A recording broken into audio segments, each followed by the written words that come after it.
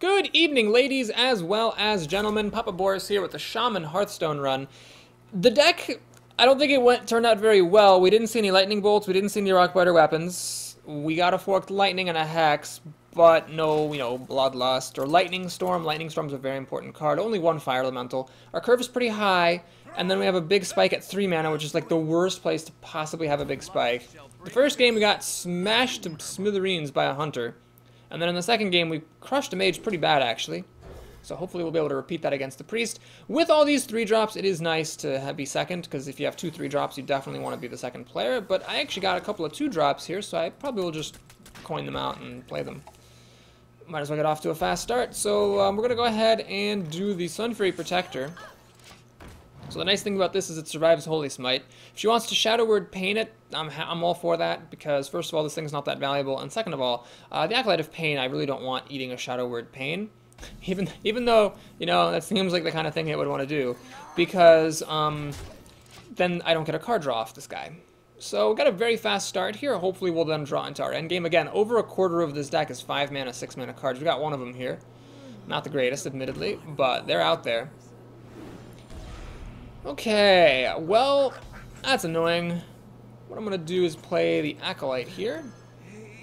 And we're to actually kill off this Imp Master. It does mean the Imp gets to kill off the Geomancer, but I really want that Imp Master to, to, to die.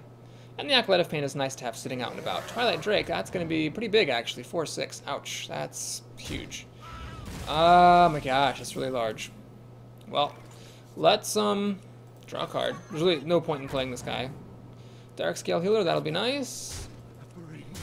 And he, he, can kill whatever he wants, but this drew me a card, and this will draw me a card when it gets hit, so I feel kind of okay about things. He's actually going to give it... Well, the attack bonus doesn't make any difference, so that's just to um, put a 4-4 on the board, and also hit me in the face, not killing my creatures. Interesting choice. Interesting choice. Hmm, what's the best way to handle this? think... I mean, there's a lot of good options. Suddenly these four power creatures kill all my stuff, so the Dark Scale Healer is kind of un underwhelming. Um... I could play Fen Creeper and hope he doesn't have Shadow Word Pain.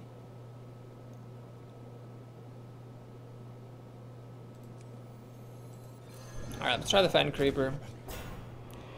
And okay, we'll swing for five. I don't know if that was the right move. Maybe I should have killed the dwarf, but whatever. I couldn't kill them both, so figured I might as well get the damage through.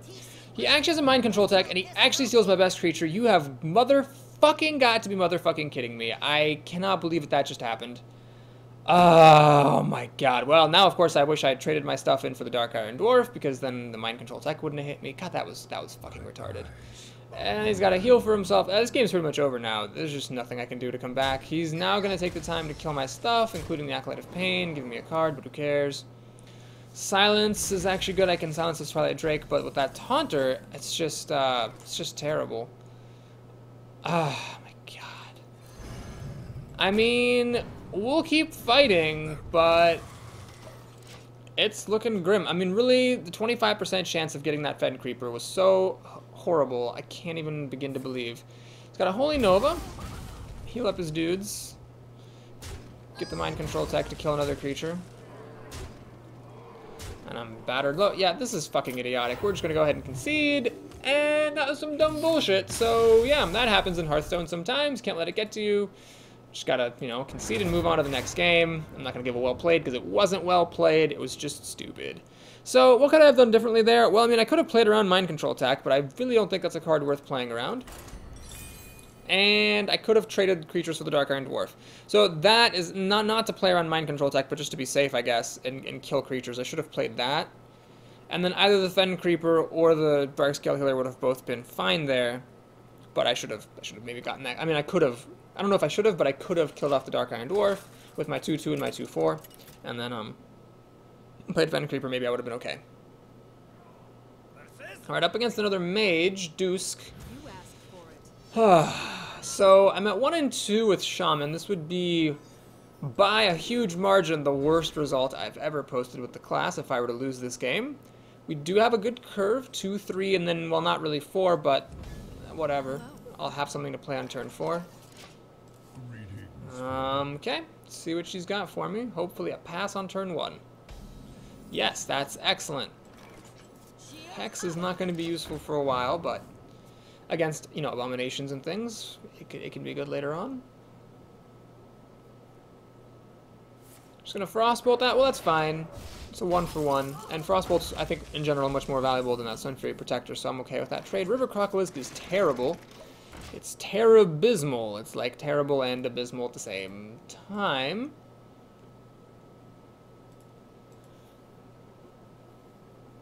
She still has the coin. Gotta remember that. Next turn, I'll probably make this guy and uh, Totem. Well, now that she's played a secret, I definitely don't want to uh, give her a Harvest Golem if that's Mirror Entity, which it is. Make a totem. I wish this were a 3-2 rather than a 2-3 so I could actually kill this thing. Got the 1-1. Damn it. Well, let's actually just hit this. So she can ping the golem, but the golem will come back, and that leaves my 1-1 alive, and that'll let it kill the River Crocolisk. I got a huge nombo here with the Abomination. It pretty much clears my team out. So I'm probably not, I'm not actually going to play it on turn 5. I'm not like behind. There's not like a bunch of aggro I need to kill. Probably just play the Golem and a Totem. So she'll trade the Raptor for the, or the Crocolisk for the Golem, and then the hero ability makes that an even trade rather than a loss for her. Fire Elemental, that'll be nice. Swing, swing, swing. Those aren't actually swings, whatever. Spell damage uh, could be good, but this deck actually has so little spells, it's not actually very good here. The only thing it helps is the Forked Lightning. I don't think there's any other spell here. Oh, there's a Frost Shock that I took because desperate times. Now, I might just win because I play Boulder Fist Ogre next turn, but if she has a Fireball or Polymorph, well, then I might just win because I have a Fire Elemental. But, you know, um, the big the big drops that I've got here are going to be my, my key. This is very irritating because it doesn't die to my 3 power that I've got going on here. I could uh, Fire Elemental, and you know what? I will just do that. Clear out her board, keep the control, and if this lives, I can put Wind Fury on it. And don't even tell me this is a good card. We've already seen it lose me a game, so... Well, not lose me a game, but we've already seen it be a dead card in my hand the whole game that I lost, so had it been a real card, I might have been better. Reckless Rocketeer, very good answer to Fire Elemental, so it's 6 drop for 6 drop, but the 6 drop did help me kill off her Gnomish Inventor, but the Gnomish Inventor drew her a card, so it's, uh, I'd say it's about even. Let's go ahead and play the Boulder Fist Ogre. Survives Flame Strike is also a good target for Wind Fury. I could smash her for 14 damage next turn, potentially. I'd love for her to just to play like a Sunwalker here for whole, for all of her mana. I don't want her to kill my stuff anymore. Alright, well that is not a Sunwalker, but that is still a good target for Hex. So it shall be hexed. And I'm not actually going to Wind Fury this thing, because I don't think Wind Furying it is as good was playing a creature. Notice if I Wind Fury, I don't get to play another creature. I'm gonna put another creature on the board here. And yeah, yeah, yeah, Mind Control Tech can go fuck a dog. Sorry, that's really inappropriate. Mind Control Tech can go suck a dog. There we go. And then I'm ready to win for you this next turn and basically almost get the kill. Engaging You have got to be fucking kidding me. Again, two games in a row. Well, this time, at least I got she stole the totem rather than a real creature. This is why I don't think this is a card that's worth playing around. It's so dicey. Now she that this being spell damage is bad because you know mages with spell damage can do some pretty awful things. Oh my god, that abusive sergeant is really clutch. Hang on, can I win the game?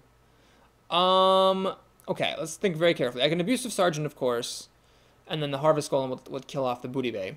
Then I can wind fury the boulder fist ogre and swing for 12 plus 3 is 15. It's one option. Now the other option is I can actually throw the Golem and the Fen Creeper into the Booty Bay, and then Abusive Sergeant on the Boulder Fist Ogre to make it 8, and then give it Wind Fury and Swing for 16. Although I do a little bit more damage that way, I also have to use the Fen, lose a lot of health from the Fen Creeper, which I don't think is actually worth it. So we're just going to go ahead and do the Abusive Sergeant there. That's why the Booty Bay is a terrible card. Alright, let's go ahead and Wind Fury my Ogre. Swing. Swing. I could swing, get her down to 4 health, and then play this, and that'll almost kill her, but I'd actually rather just keep her board clear. Make a Yeti. Makes, make a totem. Now maybe I should have killed this instead of the mind control tech, because now she's got Flame Strike, which deal 5 damage across the board, but the Ogre still survives that, which is kind of awesome. Even after being pinged. That 7 health is just pretty monstrous. So yeah, she needs to kill this and clear out everything else, or else she's going to lose. If she has like Flame Strike and Arcane Explosion, she can actually win the game. Hilariously enough, because that, that would clear out my entire board, and then she'd have a massive card advantage. She'd have like 5 cards down to 2. So yeah, then in that case, I would say that I should have killed this, and not killing this is what made me lose.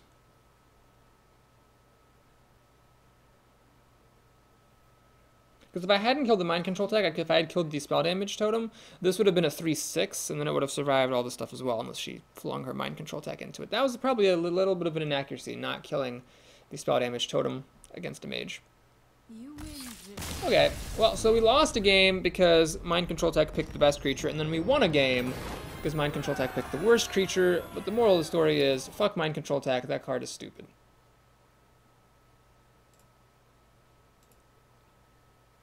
Okay. Two wins. I need one more win to be average. I need two more wins to preserve my dignity and continue my streak of never having gone below four wins with the Shaman.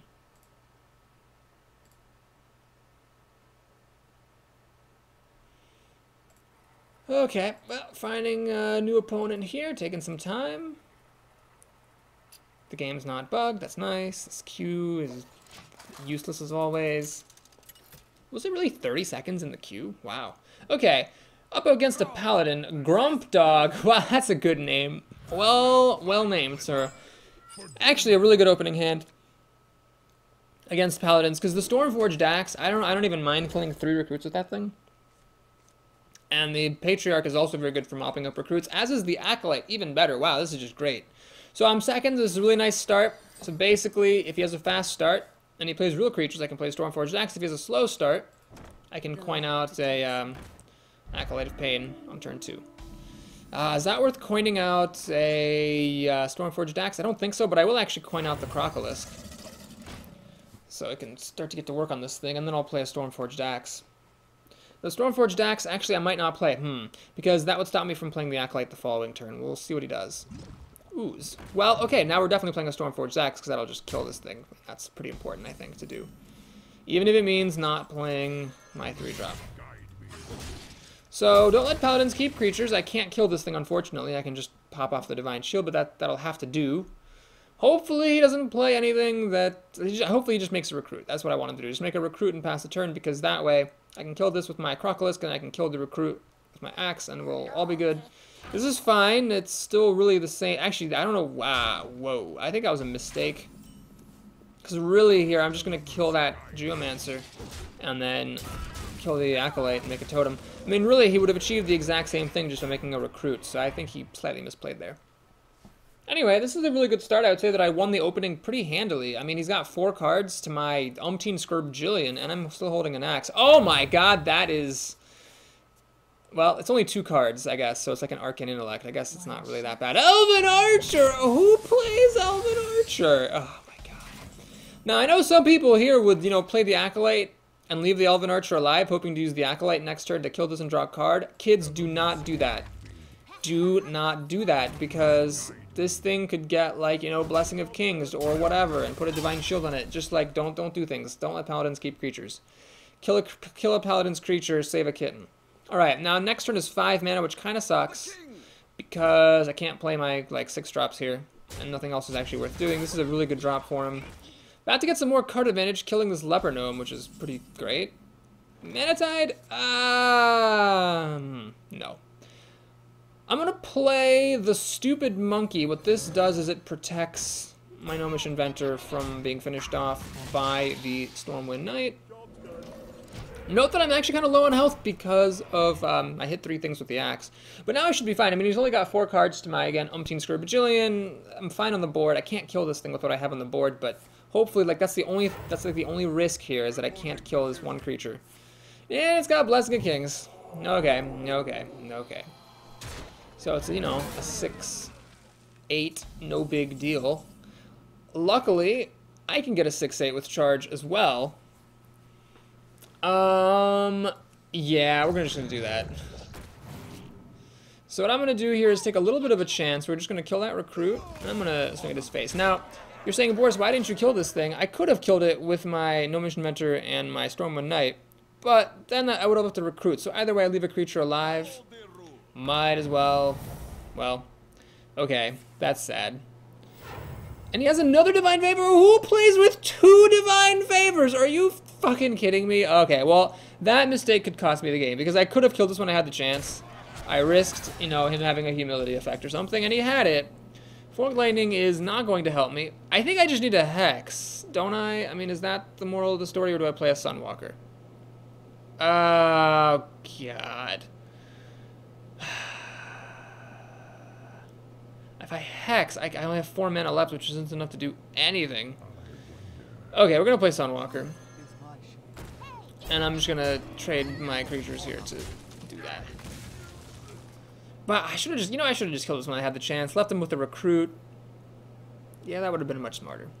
I still, that my guy would have survived. I would have had a 6-2. Yeah, that was a mistake. I regret. I have regrets. Anyway, next turn I can play Fen Creeper and Hex this thing, so I should be okay. But because of that second Divine Favor, my god, that's so bad. Guys, it's not actually good to play with two Divine Favors in Arena, unless your rare picks are really bad. He just got very lucky that um, I had such a fast start, which this deck isn't normally going to have. Truesilver Champion, so you can pop off the Divine Shield with the Truesilver Champion, taking a net of two damage. Then he can kill off my Sunwalker, going down to four health. Man, this thing, I could have killed it. Uh, well, learn learn from my mistakes, folks. Learn from my mistakes. And he's going to play that guy. Okay. Alright, this thing just needs to die. So we're to do that. Kill it. Play a Fen Creeper to stop that thing from being able to terrorize me too much. But if he has another Blessing of Kings, I'd probably just lose the game. Oh my god, why didn't I kill that Stormwind Knight? I just took such an unnecessary risk.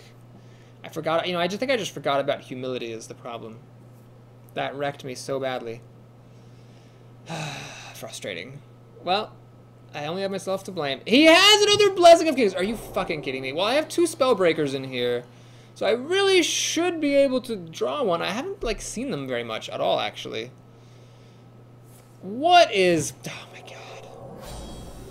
You've got to be fucking kidding me. I'm gonna lose the dumbest bullshit in the history of ever. Um, I can't deal 4 damage because I didn't get any... Well, okay, so what we need to do here, thankfully I don't die on the spot. I get to put up some taunts here. And swing. So, he can kill both of my creatures because this thing has Wind Fury. I cannot believe I'm not getting any of my spell breakers. And actually, with a little bit of luck, he can actually just win right now. If he just has like a single silence, he wins. But he played two Divine... I lost to Divine Favor and Blessed Champion. Oh my god, that's so frustrating. I can't even fathom. Yeah, I lost to two Divine Favors, a Thrallmar Farseer, and a Blessed Champion. I mean, I could have killed off that Stormwind Knight, though, and then I wouldn't have had any problems, but I made one small misplay and I got punished for it. So we are going to, in fact, have our worst Shaman run ever. He's to kill my creature. He is, so I can't kill this with what I have on the board. Fork Lightning isn't good enough, because even if I kill this, the Ogre survives. Um... Man, this sucks. Spell damage or taunt would have saved me. I got neither. So, that's it. that was retarded. Yeah, I made a mistake, and I got punished for it, but then he also played with bad cards and beat me with them, so that's just like extra salt on the wound there. Anyway, uh, two wins with the Shaman, so please like the video if you want to have pity on an old sad soul. Let's go ahead and take a look at our prize. It is 50 gold. That is a lot of gold, and that is quite fortunate. That is way above the curve for two wins. So basically, I break even there as far as, you know, um, the arena is concerned. You just need to get to 50 gold, and that's better than... That, that's, that's, that's as good as spending money at the store. Normal pack, Blizzard, good card. I already got them. I crafted them a long, long time ago for my freeze deck, which then, like, everything in it got nerfed. And that's a normal pack for 40 dust. And let's take a sneak peek at our next arena. So now there is no class left in the game with which I've never gone below four wins. Every single class now, I, I can I I've gone below four wins at least once, which is very very sad to, to have seen that happen now with Shaman. But the next run's going to be Rogue Hunter or Paladin, so stay tuned. I'll see you then.